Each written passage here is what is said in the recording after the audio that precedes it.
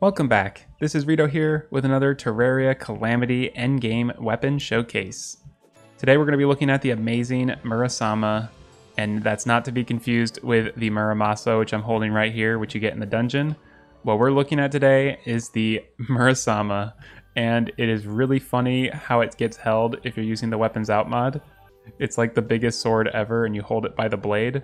So I don't know what the deal is with that, but let me go ahead and turn that off because that looks just kind of silly. And here is what it looks like.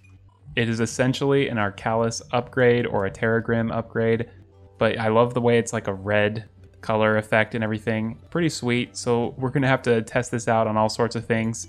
And we'll also discuss how to acquire it and how to use it. This has been such a highly requested weapon for me to review and rightly so because it is just a really awesome upgrade to the Arkhalis. You can see right here the effects that I'm shooting out aren't doing any damage. You gotta actually hit them with it, which means this is a very, very close range true melee weapon. The tooltip for the Murasama shows that it has 3,446 melee damage, 131% critical strike chance, fast speed, insane knockback, and it says there will be blood and it is ID and power level locked, and it says prove your strength or have the correct user ID to wield the sword. This sword is not able to be used until you've defeated the jungle dragon Yharon. It, however, can be obtained in pre-hard mode. Basically what you're going to be looking for is down in the underworld, there are little shrines that will appear. So you may have to make a few worlds and explore the underworld until you can find this weapon, but it is pretty awesome, especially if you've defeated Yharon. So let's go ahead and see what type of damage it can do. So it is up to 800,000. Oh my gosh, 900,000. Yeah, this is insane. I think we're going to be able to kill the target dummy. Yeah, we just killed the super target dummies so quickly. Yeah, that's very impressive. I don't kill super target dummies very often.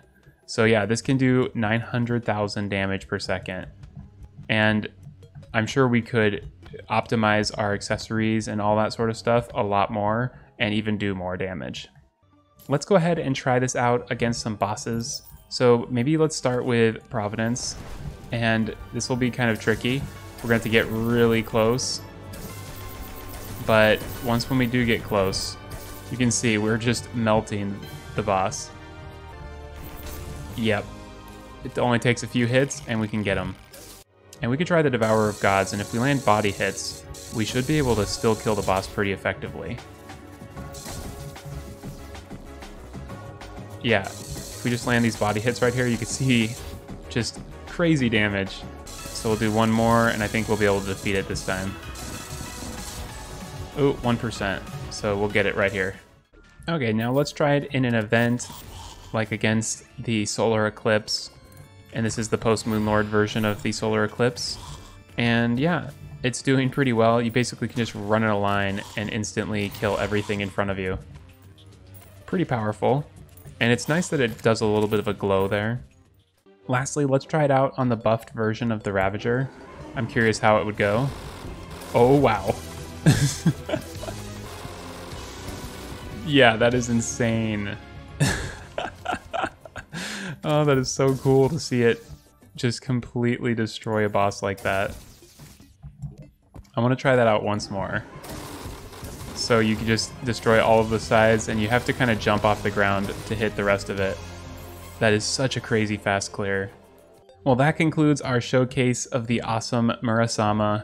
I think for a lot of people, this will be more of a novelty item because it just requires you to be so close. So if you're going to try to use it on Supreme Calamitas, it probably won't work out too well for you. But there are definitely plenty of applications where this is a fun, unique, and interesting weapon to use in the end game. Thanks everybody who requested this weapon. It was so fun to review and see what the Arkhalis could be if it had crazy buffed damage. I hope you all enjoyed this video and found it helpful. If you did, be sure to like and subscribe. I also post lots of other content like showcase videos, and I'm working on a Master Mode Melee playthrough, so be sure to check that out if you're interested.